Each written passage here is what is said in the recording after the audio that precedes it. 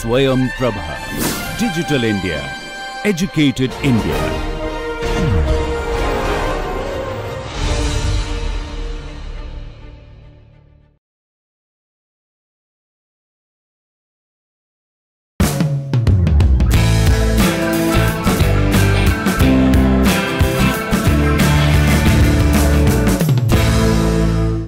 So the last class we were looking at the effect of pressure on uh, on the flame speed and what we found was for a nth order uh, reaction for let us say a global reaction um, the flame speed goes as uh, p to the n over 2 n minus 2 over 2 and uh, this basically gives a, a weak pressure dependence for uh, typical hydrocarbon oxidation uh, combustion reactions with a um, order close to 2 a global order to uh, close to 2 so for uh, typically second order reactions.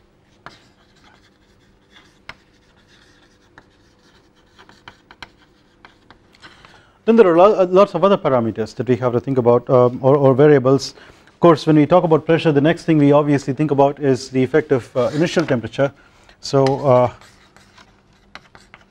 uh, or rather than saying initial temperature as if it is an unsteady problem and, and, in a steady state situation we should be thinking about like a uh, effectively temperatures of the uh, uh, un, un, unburnt reactants okay or far upstream re reactants. So temperature effective temperature reactant temperature.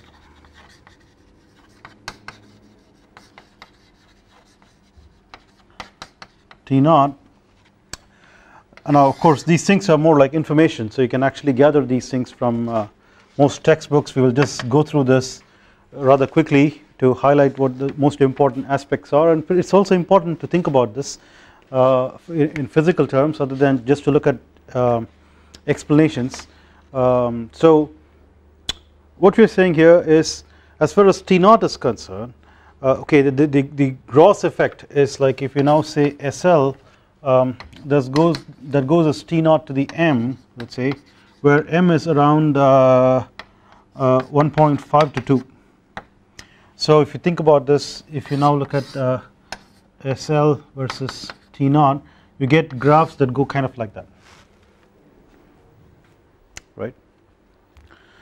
Um, so why is this? This is mainly a uh, preheating effect okay so because what you are thinking about is you have the reactants that are approaching the flame in a flame fixed coordinate system and then you have the preheat zone and uh, the, the temperature has to now rise from there up to the reaction temperature uh, in the reaction zone. So this, this effect is primarily a uh, preheating effect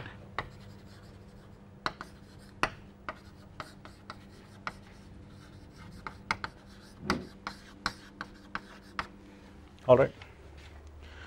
So if you were to uh, be thinking about like a PhD qualifiers question uh, the question will not be what happens to the flame speed with, with um, the reactant temperature. The question would be what happens to the flame thickness with reaction temp the, the, the, the reactant temperature right? So we will will ask this question differently than what's normally done in the class. Uh, so that, that's for you to think about. Okay? Uh, so we say it's essentially a preheating effect. Now the other thing that you naturally have to think about uh, when you're looking at uh, the effect of anything on flame speed is what is the effect on the reaction rate? Because you know you, you, you see that the flame speed is directly proportional to square root of the reaction rate right. So as a matter of fact we got this n minus 2 over 2 uh, for the pressure because the, the uh, reaction rate was going a speed to the n and then since the, the, the uh, flame speed is proportional to square root of W you have n over 2 and then of course you had a 1 over density in the uh, uh, as, a, as, a, factor out so which was linear in pressure. Therefore you had this n, n over 2 minus 1 that is how you got this. So the first thing that you have to think about is the reaction rate. What is the effect of whatever parameter you are thinking about on the reaction rate and therefore on the uh, flame speed? This is the first step approach the next thing that you have to think about is what does the reaction rate itself depend on? And uh, it primarily depends on the flame uh, temperature right. So what is the effect of anything on the flame temperature and through that on the reaction rate and through that on the flame speed? This is how we have to look at this this relationship. That is very important uh, most of the time. But in this case T naught of course affects TF directly and, and then TF affects W and W affects SL but in this case you know uh, the, the, the TF effect is significant right? When compared to the TF effect the the influence that T naught has on the TF and therefore on the SL is, is marginal. Is, is, so this this rise is primarily directly because of the preheating effect and much less through the effect through TF so uh, the the the influence through TF is uh, is less here. If you now look at how the TF itself affects SL that is the next thing that we should look at uh, effect of flame temperature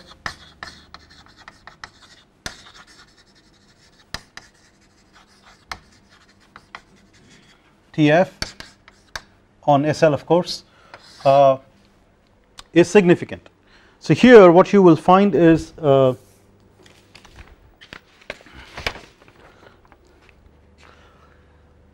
uh, these curves are much steeper. So if you now look at TF this is of course like um, we are essentially looking at different mixtures having different TFs and what, what happens to the SL corresponding to that keeping lots of other things constant. So it is it's a bit difficult to actually think about this experiment. But if you now think about this this this this curve is much steeper when compared to this. Okay. So uh, a a slight change in TF can cause a significant change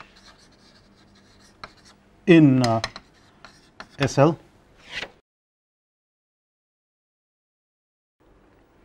through through W. That is the reaction rate. So uh, now if you if you go back and think about this the first thing that we did was when we wanted to look at the structure of the premix flame we said uh, the the reactants get in and then the temperature rises and then goes to the reaction zone. But if you want to just do the a gross order of magnitude balance we would say the the reaction rate is evaluated at the flame temperature right? We don't have to worry about the variation of the reaction rate with temperature. We will just evaluate the reaction rate at the flame temperature directly and this justifies that. Because uh, as TF changes W changes and as W changes SL changes. There is a direct link between these uh, these things. So uh, we can we can see this justified experimentally. Then the most important thing that we should be looking at most of the time effect of mixture ratio. So when when you say mixture we are always looking at the reactant mixture. Okay in, in the context of preheat uh, sorry premix flames uh, we are always thinking about the reactant mixture that means the fuel oxidizer mixture right so here what happens is um, SL versus let us say equivalence ratio. And uh, of course you can think about equivalence ratio 1 as um, stoichiometric. And then less than 1 is fuel lean greater than 1 is fuel rich. Uh, you should typically look forward to curves that are like that with, with a peak little bit off in the fuel rich region. Okay? So peak nearly uh, at stoichiometric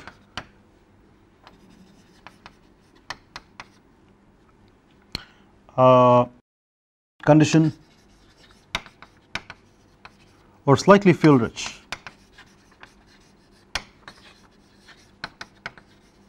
right.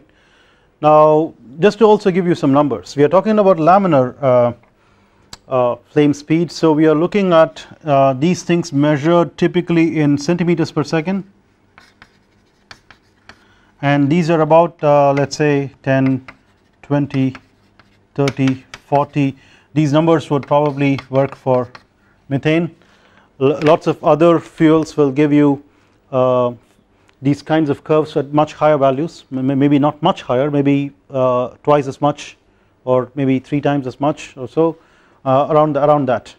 So we are talking about uh, a few to several tens of meters per second sorry a few, to several tens of centimeters per second for the laminar flame speed okay. So this is something that you got to keep in your mind and uh, uh, in order to get a feel for things when you do let us say experiments or even numerical work and so on. Um, now the other thing that we have to worry about is why, why are we having a peak that is slightly shifted off?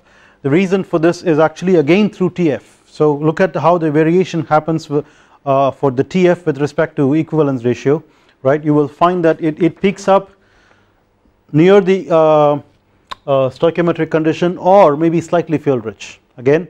And that is because of the CP effect. That is the CP if you now look at how the CP of the mixture varies with phi right? You will you will find that uh, the CP affects the TF and then on top of it think about this.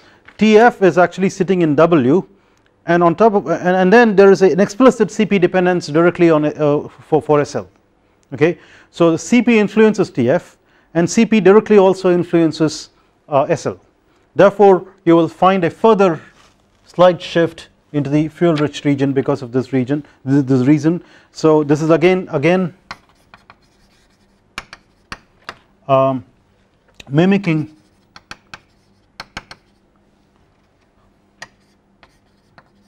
mimicking TF trend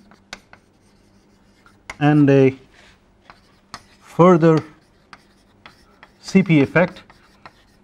We will look at the CP effect directly um, right away that means we want to keep the TF constant and see if we can vary the CP or so uh, that, that kind of thing. So let's let's just see how that can be done. So effective uh, effect of uh, alpha and Cp right. Uh, I want to just go back and point out something here in this picture. Uh, so this this curve stops on either side beyond a point as you go from uh, go go away from equivalence ratio 1 and this would be uh, the um, fuel lean flammability limit. And uh, this would be the fuel rich flammability limit. That means if you now have too much of either fuel or oxidizer the flame is not going to propagate. And that is called the flammability limit. And uh, we will talk about flammability limits separately later on. But we have to keep this in mind that this curve is going to actually hold only over a range of phi uh, around 1 uh, significantly around 1 it is not like just around 1 uh, but not too far away on either side okay. Um, so going back to the effect of alpha and Cp alpha is of course the thermal diffusivity so uh, the way we can actually think about this is also pretty interesting. Uh, so you can now think about SL uh, and versus phi. If you now look at uh, uh, let us say CH4 in air right? Right. Consider uh,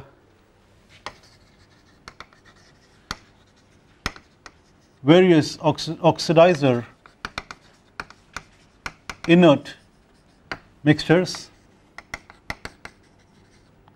right? So that is like uh, O2 N2 as in air and uh, O2 argon and O2 helium all in the same proportions.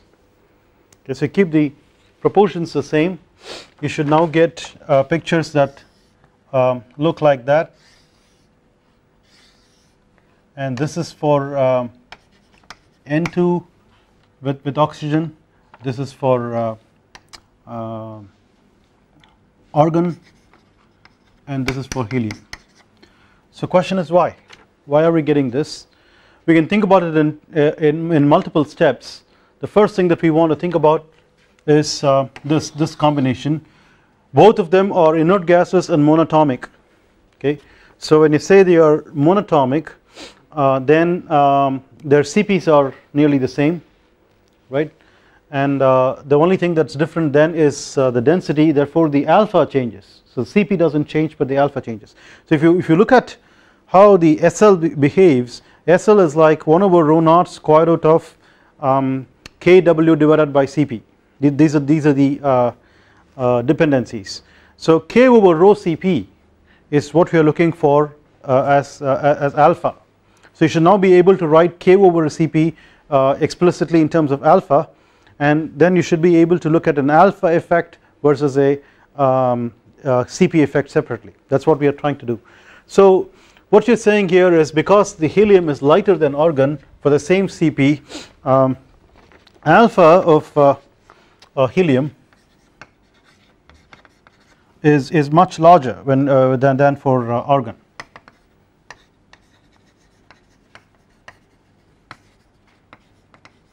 Than for AR and uh, then what happens is you know you, you, can you can fix your flame temperature all right. That means you can get your flame temperatures to be the same because the CP is the same.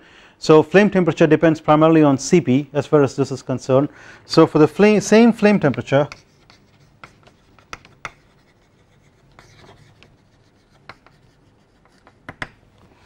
uh, higher alpha higher alpha uh, means higher SL alright. So that is the reason why you are going to get a uh, helium uh, uh diluted SL to be uh, having a um, higher value when compared to argon diluted flame speed. Now then what happens to this combination? What you have to think about is here um, the CPs are different. Okay so between argon and uh, nitrogen this is a monatomic gas but this is a diatomic gas. So the, the, therefore the CP is uh, different. Now N2 has a higher CP um, being diatomic. Okay relative to uh, organ. argon is a good comparison with uh, uh, N2 because the alphas are nearly the same. Okay for for uh,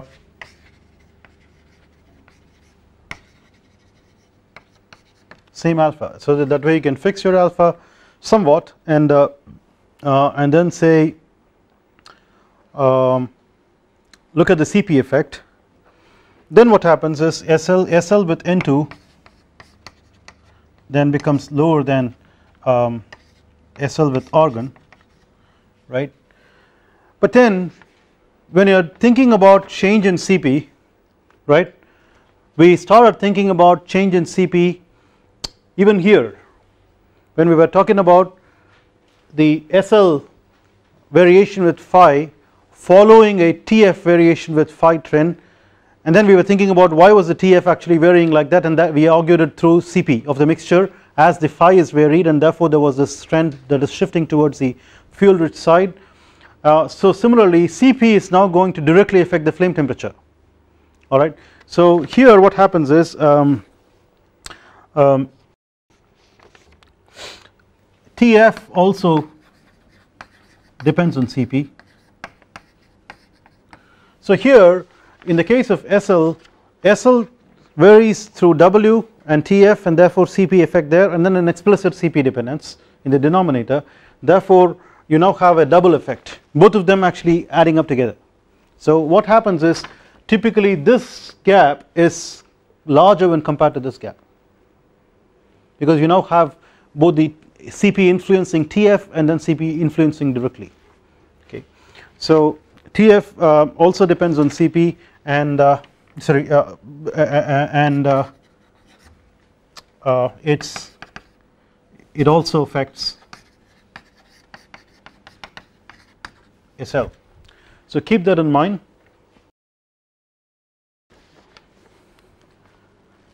And then there are some more interesting things that we should be thinking about.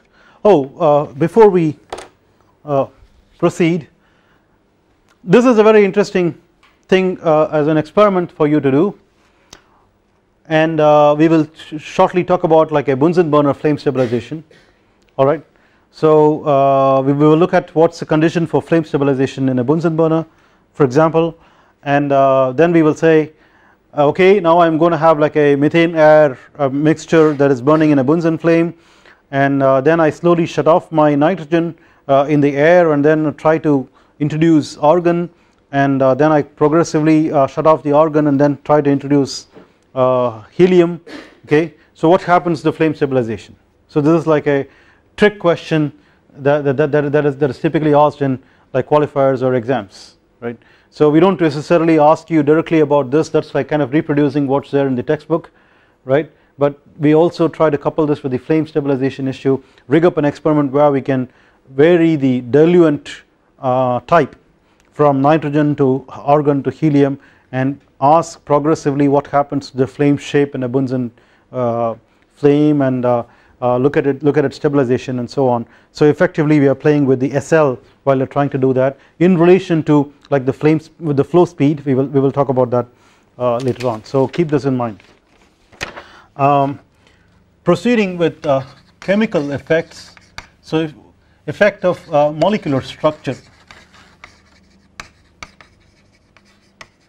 of fuel. Typically fuel is what's, what's of interest. The oxidizer is always air most of the time in what you're talking about or at least oxygen with, with any diluent. Um, now what we find is uh, two, two things we have to think about. One uh, more unsaturated unsaturated saturated hydrocarbon higher is SL and saturated means you have like double bonds and triple bonds right? So it's not like alkanes. We are now talking about alkenes alkynes those kinds of things. Um, they would they would have typically much higher SL when compared to uh, mm, when you have when you have only only have single bonds. Then the other thing that we should think about is uh, substituting um, methyl groups for hydrogen right leads to uh, SL decrease.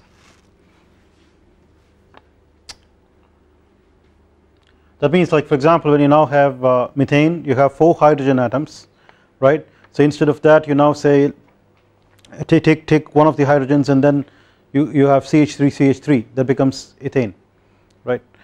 And, then uh, you, you, can now have like CHCl3 or CCl uh, sorry C, C, sorry C, um, uh, C CH CH3 twice and then uh, C CH3 thrice.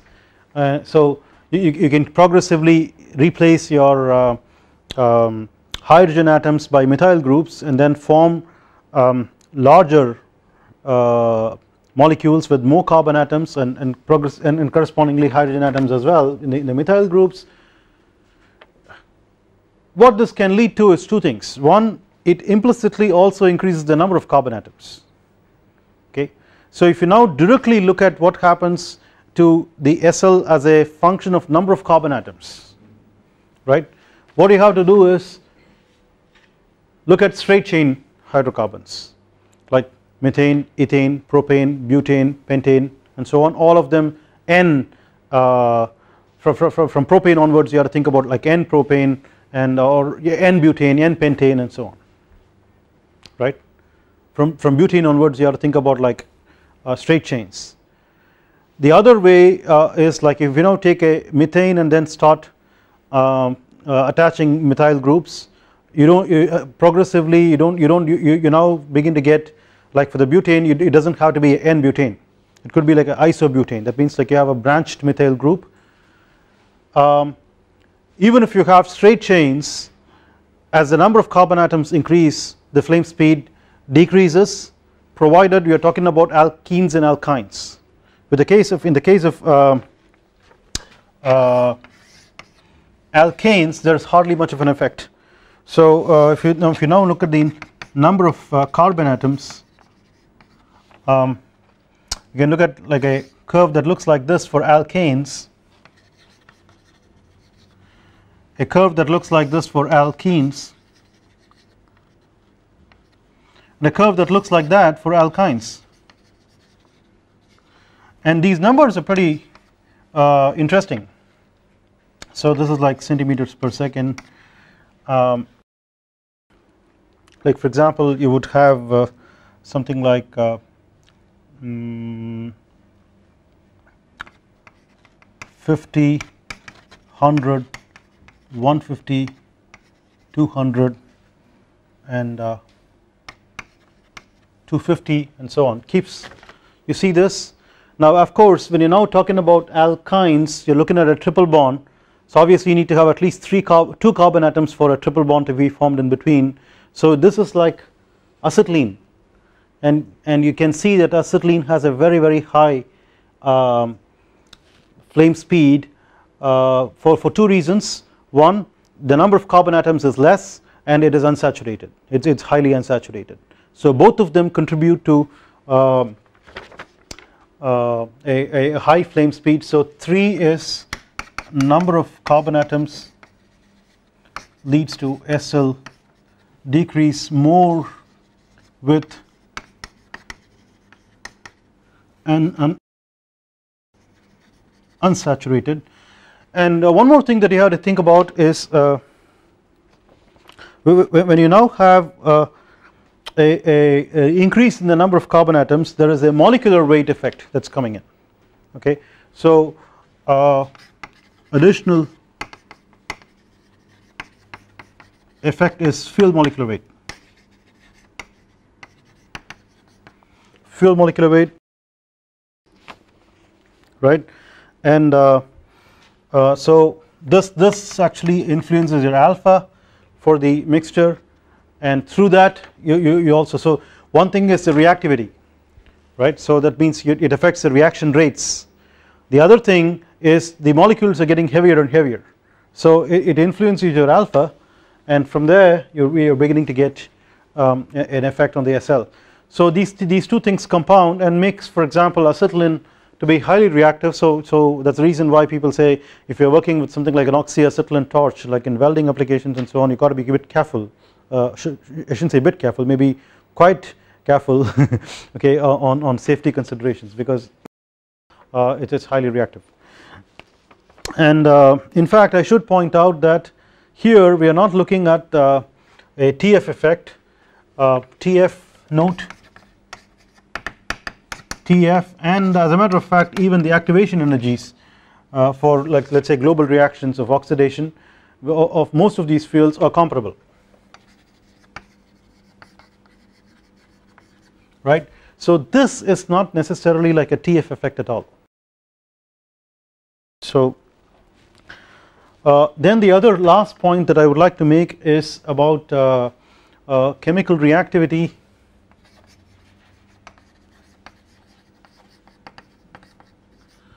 So uh, a good comparison that is made is for example if you now have a uh, silicon hydrogen bond versus uh, silicon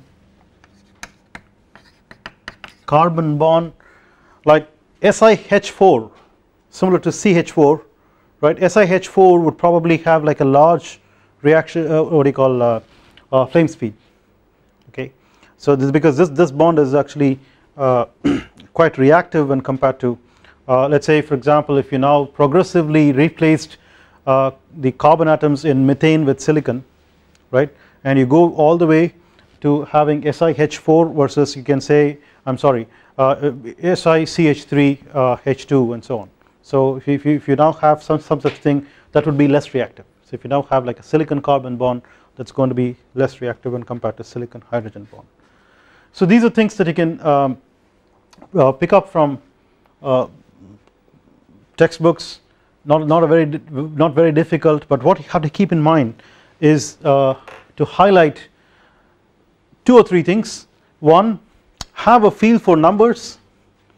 Okay we are talking about tens or uh, few tens to several tens typically for most flame speeds in some in terms of centimeters per second. Um, you can also look at some of these having a few hundreds of centimeters per second. That's that's that's one thing. The second thing always look for the effect of any of these things through TF okay? Because that is a big effect. There are only a few exceptions. For example T naught there is a direct effect of, of preheating um, and then uh, there is a direct CP effect that you can think about and uh, uh, TF does not really influence significantly when you are thinking about uh, different fuels uh, in, in uh, with, with, different carbon chains. So there is a molecular effect and so on that that's coming to picture. So some of these are, are exceptional but most of the time whatever TF does with whatever parameter they're thinking thinking about SL would try to follow that most mostly. So uh, and then uh, keep keep this shape in mind this and then of course what happens when you now progressively dilute it with different uh, gases of different uh, monatomic or diatomic gases and then also when you have different uh, uh, molecular weights or densities and so on. So this is this is pretty interesting as well. Now with this what we should now try to do is a slightly different framework. Once we now know how to deal with uh, how to get the flame speed then how do we deal with premix flames so then we talk about what's called as the G equation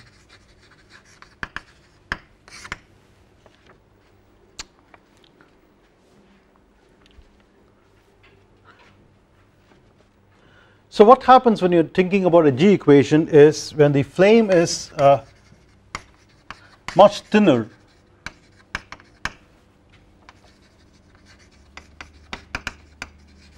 Much thinner than the hydrodynamic uh, length scale.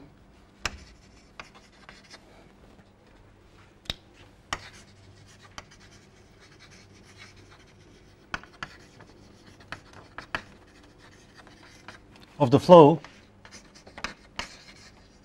right we can treat this flame as like a surface uh, surface that is propagating in the flow. So it is essentially like a surface of discontinuity. Um, the flame can be treated as a surface of discontinuity. Right? Uh, propagating in the flow. That means the flame has a certain propagation speed which we now kind of take for granted. We have gone through enough of what's happening across the flame within the flame how the temperatures rise the concentrations fall for the reactants lots of things.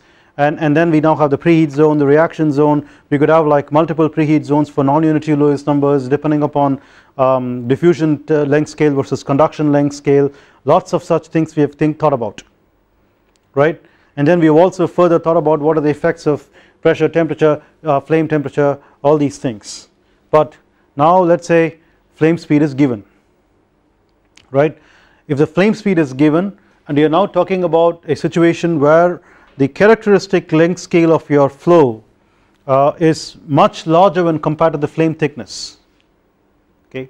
And, and the flame isn't very very thick many times. A laminar flame for example is, is very very thin right? It, it's about a few millimeters uh, thick uh, of course it, it, it is much it's quite thicker than a shock like if you're thinking about gas dynamic shock that's that's only a few mean free paths thick okay? You have a sudden change in properties across a very very small distance uh, where, where, even uh, uh, continuum assumptions are uh, broken down. Whereas uh, that is not the case with flames. But still it is quite thin when compared to most applications uh, where, where you come across most applications. Therefore if you now think about this you now say that is a flame which is now beginning which is trying to propagate into a flow. Right. Now where was all the preheat zone and all those things? It's, it's kind of like you now have to take a magnifying glass hold it against this right? And then that's going to kind of look like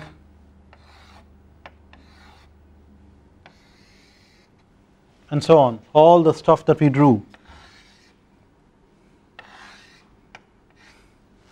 And uh, so it's almost like locally one dimensional so when you now say locally one dimensional that means the flame is trying to propagate with its flame speed normal to itself. Right? So the flame could be curved that refers to the flame shape. Whereas what we have been talking about so far is what is called as the flame structure. The flame shape is like a much global global picture. A flame structure is something that happens almost like at a point in the flame along the length of the flame. Right? Where you now try to spatially resolve temperature and concentration profiles reaction rate profiles all those things across the thickness of that flame. So what we are talking about is locally normal to itself it is going to have a flame speed which is now of course going to be in different directions. Flame speed is a scalar right? And it depends mainly on reactant temperatures pressure reactant temperature pressure uh, and uh, the the the um, mixture ratio. All right? And, and uh, the the um, uh, all, all, the all, the all the other parameters like what is the alpha what is the cp and um, and uh, uh, what are the kinetic constants what is the order of the reaction all these things right? So once all those things are given if you're given a certain mixture at a particular ratio and temperature and pressure SL is fixed as a scalar. The flame speed acquires a direction locally normal to the flame shape. So dependent upon the shape of the flame is how the flame propagation direction is fixed. And many times you would think wait a minute the flame is probably going to shape itself depending upon how it can propagate. Right? And I, and I will have to try to find the shape in the first place depending upon how it can propagate. If I do not know how it is going to prop propagate how, how can I figure out what its shape is and how can I figure out the propagation direction so it is a loop that we have to think about. So how do you do this right so the way we deal with this situation is we now say this is actually treated as a surface of discontinuity and we want to mathematically describe the surface by a uh,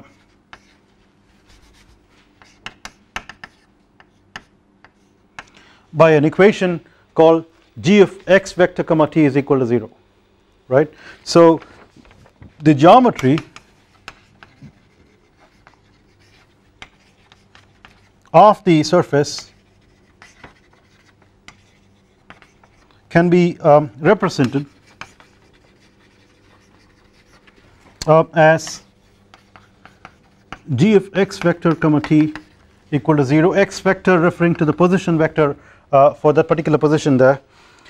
Now if you are trying to do this analytically you could just deal with this surface having this equation right as it is or the other possibility is you can now think of G as a scalar like enthalpy or uh, temperature or uh, any anything okay? A, a just just like any scalar.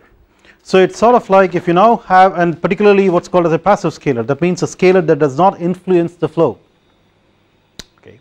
So if you now kind of have a scalar quantity that is actually dropped in the flow it just goes with the flow right unless it has a propagation speed that it wants to compete the, with the flow against right.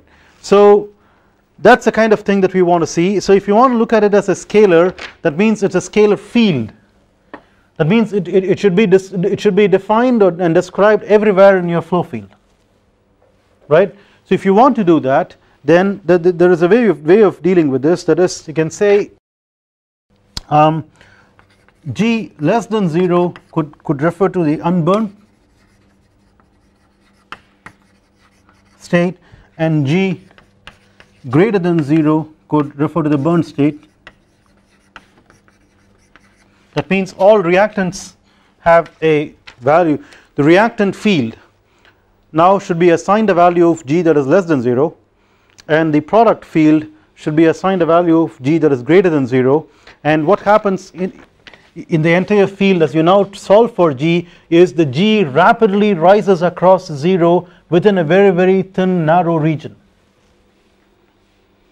Mathematically speaking it is almost instantaneously happening. That is why it is a surface of discontinuity at the at the flame. Alright that means it is having a value that is less than 0 up to the flame. It is now suddenly jumping to a value that is greater than 0 um, on the other side numerically like if you want to now look do like uh, computation like right, right okay discretized uh, approximate numerical calculations you could now think about some values from let us say minus 1 to plus 1 and look for a, a, a contour or a surface where typically when you discretize your space over maybe about 2 or 3 grid points you now have a sudden rise in G right. So that is like a uh, approximate way of do, doing the flame but effectively we are looking at something like this. So what you want to do is uh, as I said SL itself is scalar so it, it acquires the direction normal to the flame. Therefore you need to actually define a unit normal vector.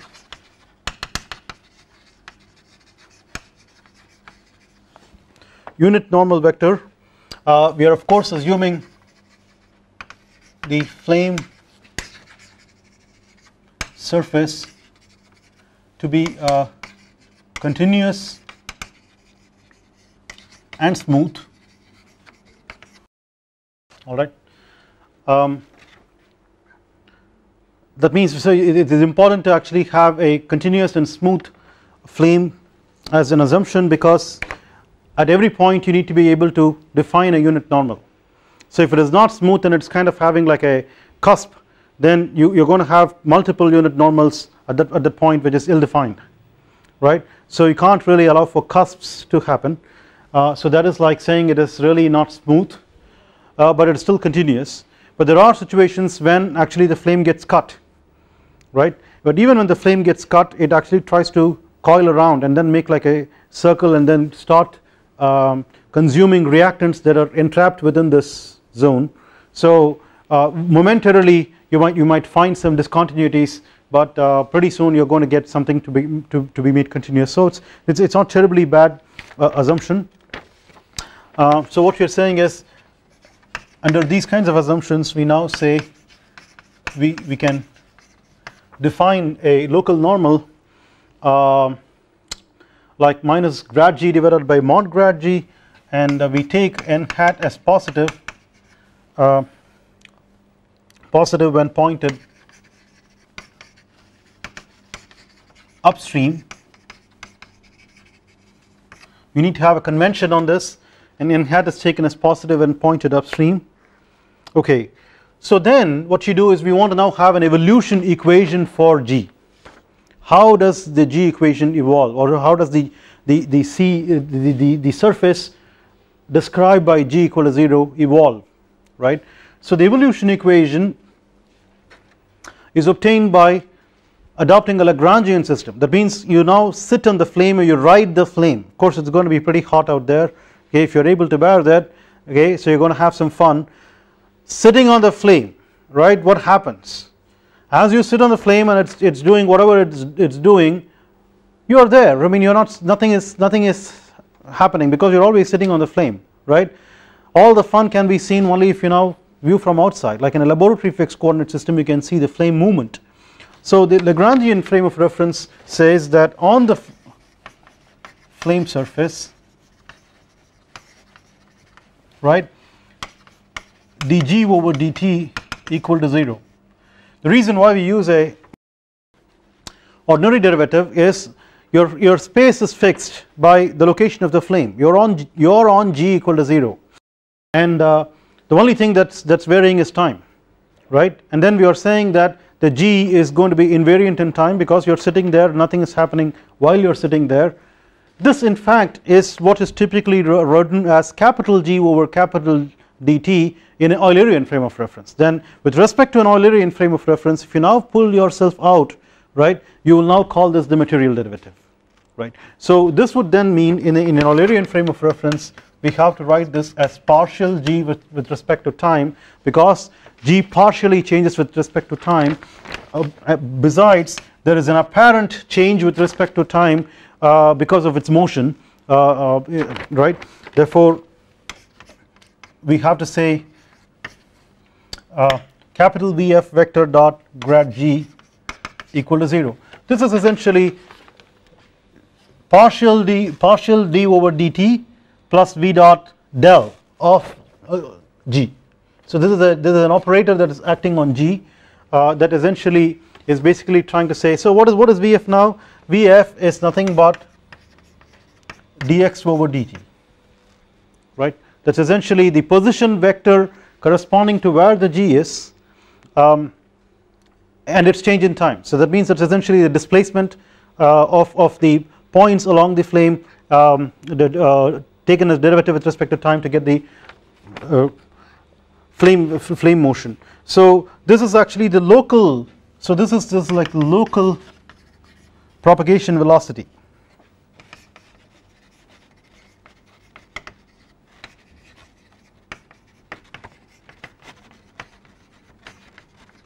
right. Now when you say local propagation velocity it is sort of relative to something that is very local. It is not thinking about a flow field that is around it. It is trying to have a relative motion of the flame with respect to the flow around right. So this this then by definition of the way uh, SL is right? SL is nothing but the VF minus the flow velocity v vector evaluated at g equals 0 minus this is corresponds to the upstream reactant velocity at the flame dot n hat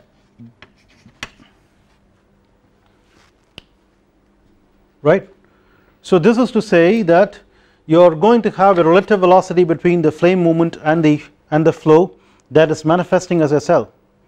if your flow were quiescent right? Or, or if your reactants were quiescent then you will identically have the flame propagation velocity that we talked about as the flame, flame speed okay? Except we have to now consider the dot product because you have to look at the local normal propagation right? Otherwise you won't get a scalar out of, of this vector. Or you couldn't have made a vector out of the scalar. Either way you can look at this right? So if you now say uh, so V then is the local flow velocity in uh, lab frame right? That is the Eulerian frame. And uh, from here we can get if you now plug this back here you can get uh, in this equation you can get plus V obtained uh, at g equals 0 minus dot grad g uh, equal to SL mod grad g.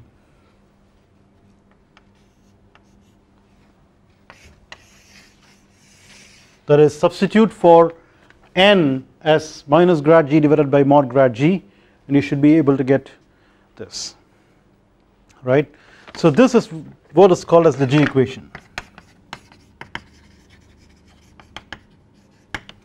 The G equation essentially is an evolution equation for the flame surface as if it's a surface it's a surface of discontinuity across which the temperature changes from the unburned temperature to the burnt unburnt reactant temperature to the burnt product temperature. And uh, reactant concentrations become 0 for particularly the uh, uh, the deficient reactant. And uh, product concentrations go from 0 to uh, whatever is the uh, final product value and so on. Okay. We will stop here at this at this stage I will see you at 3 o'clock tomorrow.